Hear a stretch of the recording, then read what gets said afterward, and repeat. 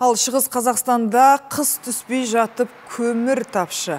Өскемендегі көмір сататын орында соңғы күндер кезек күткен адам көп. Тіпті кей тұрғындардың қараотынды алу үшін көлік ішіне түнегендеріне бірнеше күн болған. Қалада қазірдің өзінде қысқа қамданып көмірге таласқан ел бірін бірі көлігімен қағып кете жаздап жатыр. Қаншама күннен бері кезек күтіп қара отынды ала алмай далада түнеген жұрт бүгін тіпті ашуға мінген.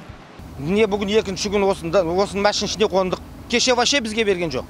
А міне бүгін үш тоннадан береді беріп жат, береміз деп отыр. Қаланың адамдарына бар ауылдың адамдарына пенсионерлер тоже бар. Неге ол социальный ондай істемейді ауыл ауылға? Көмір ала алмаған ел бұл жағдайдың жылда қайталанатынын айтып ашынды. Жылда жыр болған мәселені облыс әкімі Даниял Ахметов те біліп отыр дейді. Қала әкімі Жақсылық Омар да дәл осындай шу болған уақытта бір рет келіп те кеткен екен. Бірақ ол кездесуден қайыр болмаған.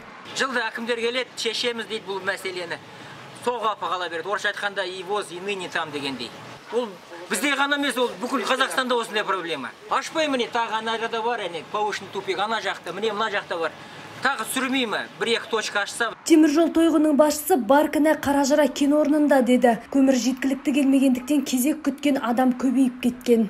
нет достаточное количества вагонов.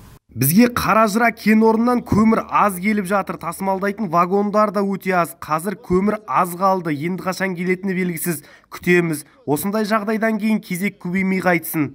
Көмірге келген мына көліктердің көбі бүгін ішке тағы да кіре алмады. Араларында алыс аудандардан келгендері де бар. Олардың әлі қанша күн күтетіндері тағы белгісіз. Айта кетейік, бұған дейін көмірге кезекте тұрғандар арасында бірнеше рет төбелес те болған. Тіпті Қаражыра кен орнында болған жанжал кезінде бір адам қаза тапқан болатын. Махаббат Нұржанқызы, Шығыс Қазақстан облысы, Информ бюро.